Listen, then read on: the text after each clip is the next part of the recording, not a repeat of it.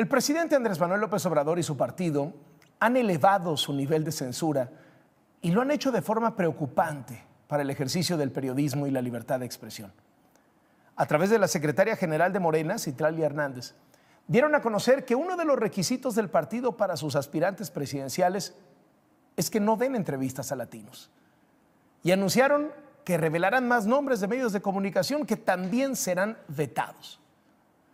La censura, el veto, la exclusión, las listas negras, son propias de los regímenes antidemocráticos, que buscan esconder sus abusos con la complacencia, con el aplauso fácil muchas veces de experiodistas convertidos en propagandistas.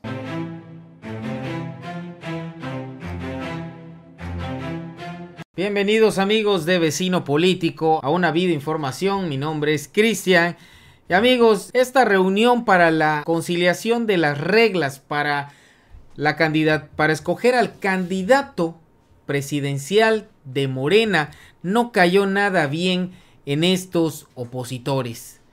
¿Por qué? Debido a las diversas reglas que se pusieron a estos aspirantes pero están tan terriblemente mal que como ellos no tienen ningún candidato verdadero que aspire para competir contra estas corcholatas, contra cualquiera, ahora resulta que buscan censurar a Morena para esta elección de su candidato. La senadora Kenia López Rabadán ahora calificó de farsa el proceso interno de Morena para esta elección presidencial y pues obviamente como tenía que ser acusó de usar recursos públicos, acusó de ser ilegal porque está fuera de los tiempos electorales dictaminados en la ley, que pues en parte sí tiene razón, pero es que la realidad es que eh, aunque digamos que es candidato, realmente lo que Morena está eligiendo le dio la vuelta y está eligiendo es a un coordinador que continúe la transformación del país. Obviamente no están acostumbrados a que les den la vuelta, pero siempre claro al margen de la ley. Así que hizo este anuncio en su contramañanera Kenia López Rabadán en esta farsa, ahora sí de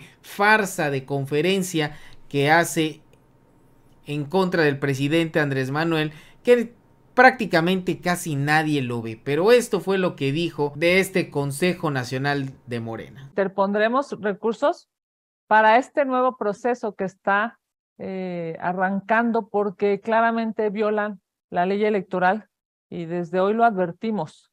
No permitiremos que este proceso, por cierto, plagado de vicios, plagado de eh, irresponsabilidades, eh, viole la ley electoral.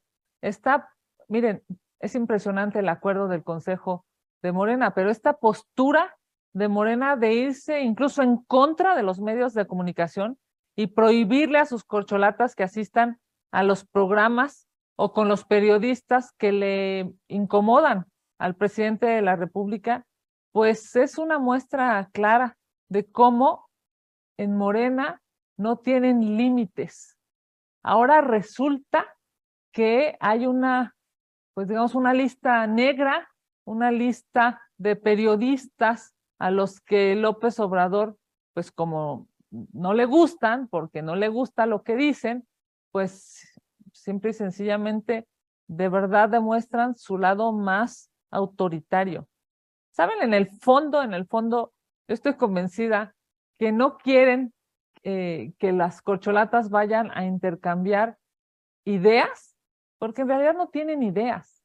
Para muestra clara, pues lo que han hecho cada una de ellas. Peor aún, amigos, no solo el PAN con Kenia López Rabadán quieren impugnar estas reglas de Morena rumbo a la candidatura presidencial, sino también Movimiento Ciudadano hace el ridículo de ahora ir e impugnar con el Tribunal Electoral del Poder Judicial de la Federación por estas reglas.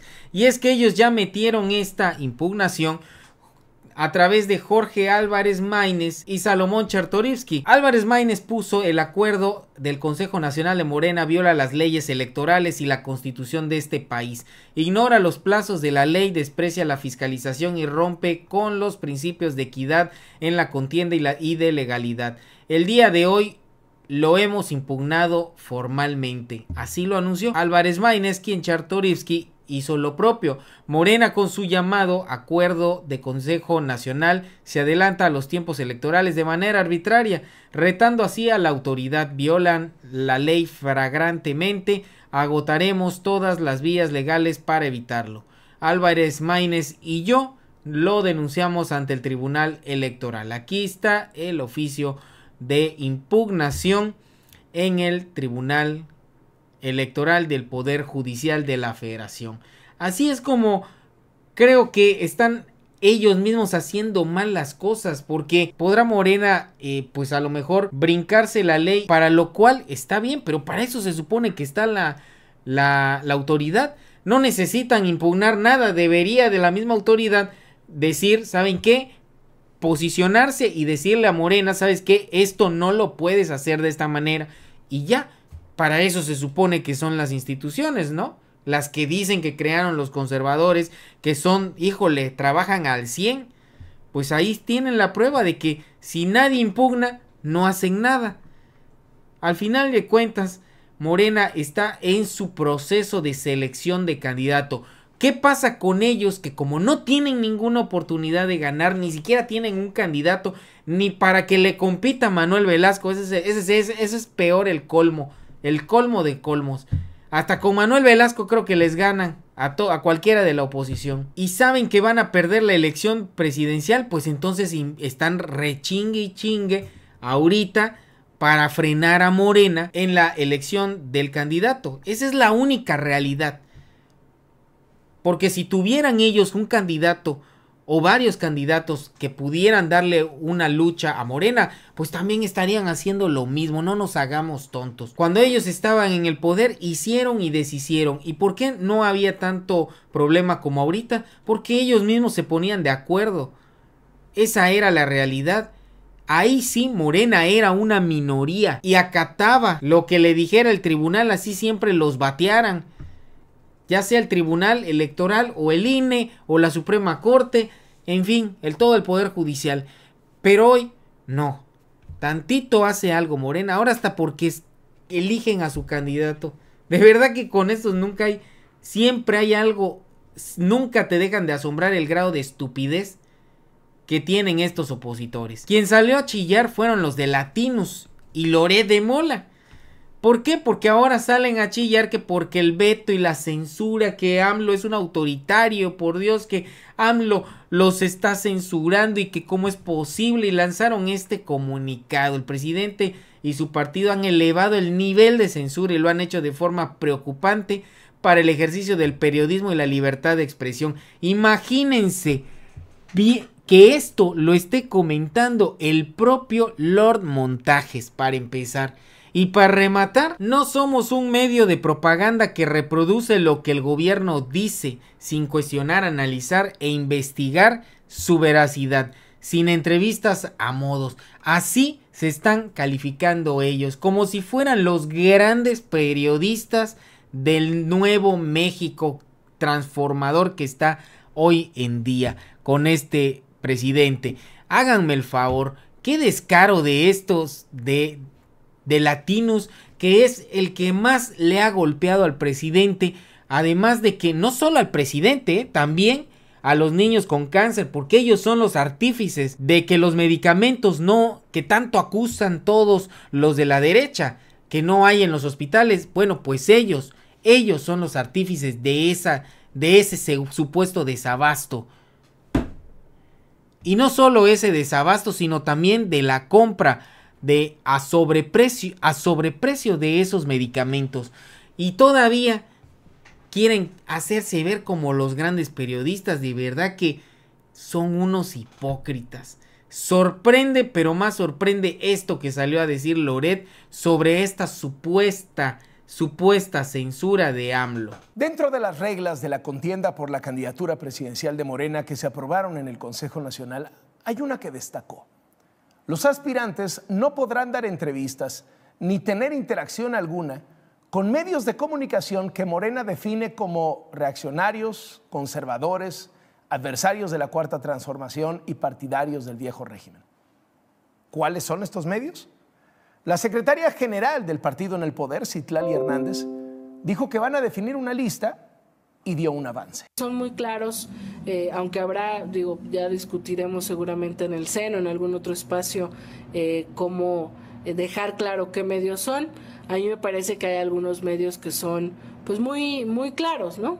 Reforma, Latinus, algunos personajes, algunos periodistas que son abiertamente anti-4T, que son voceros de la oligarquía. El presidente Andrés Manuel López Obrador y su partido han elevado su nivel de censura y lo han hecho de forma preocupante para el ejercicio del periodismo y la libertad de expresión. A través de la secretaria general de Morena, Citlali Hernández, dieron a conocer que uno de los requisitos del partido para sus aspirantes presidenciales es que no den entrevistas a latinos.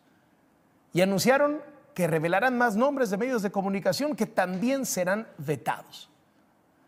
La censura, el veto, la exclusión, las listas negras, son propias de los regímenes antidemocráticos, que buscan esconder sus abusos con la complacencia, con el aplauso fácil muchas veces de experiodistas convertidos en propagandistas. Andrés Manuel López Obrador llega tarde a la fiesta de los dictadores. Arribó al poder en un momento en el que la democracia había avanzado en México, con una gran cantidad de medios de comunicación en la pelea por ejercer la libertad de expresión y el trabajo independiente, sin componendas, sin compadrazgos con el poder, en un momento en el que no caben manotazos, en el que no caben volteretas al pasado. Este es un acto de censura, es un agravio a las millones de personas que siguen a latinos, que se informan en latinos. Es decirles, ustedes no caben. No caben en nuestra sucesión presidencial. No caben en nuestro partido. No caben en nuestro país. Es un mensaje directo a un medio de comunicación que ha sido crítico, que ha evidenciado con videos, con documentos, la corrupción y las mentiras del gobierno, y que ha publicado investigaciones que no han podido ser desmentidas. No somos un medio de propaganda que reproduce lo que el gobierno dice sin cuestionar, sin analizar, sin siquiera investigar su veracidad. Un veto no va a impedir que sigamos dando cobertura a las actividades de quienes pretenden gobernarnos. Reiteramos a los aspirantes presidenciales que Latinus es un espacio abierto, plural y dispuesto a escuchar todas las voces de quienes buscan regir los destinos de nuestro país. Siempre lo haremos con respeto a la inteligencia de nuestra audiencia, sin entrevistas a modo. Frente a los vetos, censuras y abusos de poder del presidente López Obrador y de su partido, nosotros continuaremos haciendo nuestro trabajo. Lo hemos dicho desde el principio. Latino seguirá registrando los hechos, ejerciendo la crítica cuestionando, investigando. Y lo hará igual que siempre, al costo que sea. ¿Quién le cree a Loré de Mola esta farsa de veras? Este es como si fuera uno de sus montajes. Como si le creyéramos que realmente realiza un periodismo de investigación. ¿Quieres, ¿Quieres saber cómo se hace un periodismo de investigación? Que le vaya a preguntar a Nancy Flores para que le dé una cátedra los de contralínea, esos sí son los que saben realizar periodismo de investigación o como Teresa Montaño. Ellos sí, no, pero pues está acostumbrado Lore de Mola a hacer sus montajes y tener como su alumna, yo creo, a Pamela Cerdeira y todavía se quejan porque no les dan entrevistas, porque sabemos que solo van a ir a atacar, eso es todo, el golpeteo blando, el golpeteo de todos los días que, que, que buscan a toda costa derrumbar a este presidente. Y no lo van a lograr y mucho menos con las corcholatas. Esto lo veo como algo como una forma de que el presidente proteja a las corcholatas. Y dos otra manera en la que el presidente se da cuenta y exhibe quién de las corcholatas respeta las reglas y quién no. Así de sencillo. No pasaron ni 24 horas y ya dos corcholatas, ni no voy a decir nombres, ya se presentaron en medios chayoteros. Qué lástima, porque si no pueden respetar ni siquiera una de las reglas tan básicas como es esto, pues está muy complicado. La verdad le están dejando el camino libre a otras corcholatas. Y si se preguntan por qué no van las corcholatas, por qué no quiere el presidente que vayan las corcholatas a estos medios chayoteros, pues Adán Augusto aquí lo puso muy tranquila y sabiamente. Durante años quisieron hacerle creer al pueblo que éramos un peligro para México, pero hoy el peso está más fuerte que nunca, tenemos récords en empleos formales y se atiende primero a quienes más lo necesitan. El peligro para México siempre fueron ellos. Por eso no volverán, dice el ex el futuro exsecretario de Gobernación Adán Augusto López Hernández. Así que pues como pueden ver amigos, esto, esta, esta sesión, esta reunión del Consejo Nacional de Morena les ha dolido, les ha ardido a toda la oposición, a la derecha. Como no tienen ni como no tienen ni qué hacer en sus propios partidos, están buscando, hoy sí que perdónenme, pero cómo joder a Morena de todas las maneras posibles. De verdad yo no entiendo cómo no se cansa esta derecha de estar volteando a ver qué hace Morena en lugar de que se pongan a ver qué hacen ellos. Hasta Movimiento Ciudadano se suma a esta ridiculez y como les dije están perdidos que nada más están viendo qué es lo que hace Morena. Amigos de vecino les agradezco su compañía en esta videoinformación. Como siempre les agradecemos su compañía y los invitamos a suscribirse a este canal y también los invito a Politiquero Noticias. Compartan, ayúdennos compartiendo este video con sus amigos y familiares. Regálennos su like porque así nos ayudan a llegar a más personas. Y sigan teniendo un excelente día. Nos vemos en un próximo video. Es cuanto.